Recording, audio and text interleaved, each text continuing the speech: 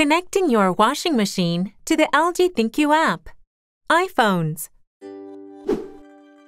If you have LG electronic products, you can make your life a lot easier by connecting them to the ThinQ app.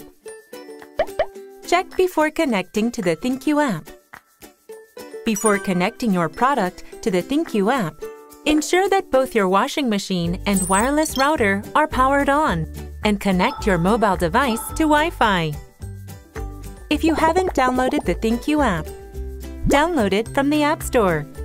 Run the app, sign up, and log in. Now, let's learn how to connect your washing machine to the ThinQ app.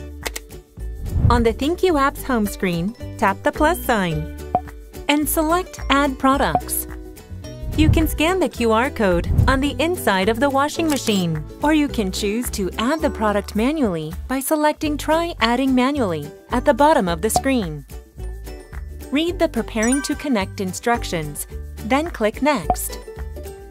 You can either select the washing machine from the list of nearby devices or directly from the product list below. Press the Wi-Fi Setup button for over 3 seconds following the app's instructions. Tap Next in the ThinQ app. To configure Wi-Fi on your iPhone, follow these steps. Go to your iPhone's home screen.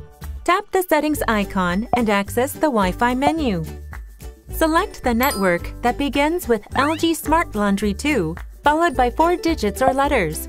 Then enter the last four digits or letters twice as the password.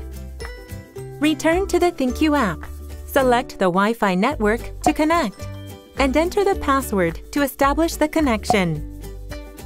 Place your mobile device close to the product and wait a moment for the product to connect.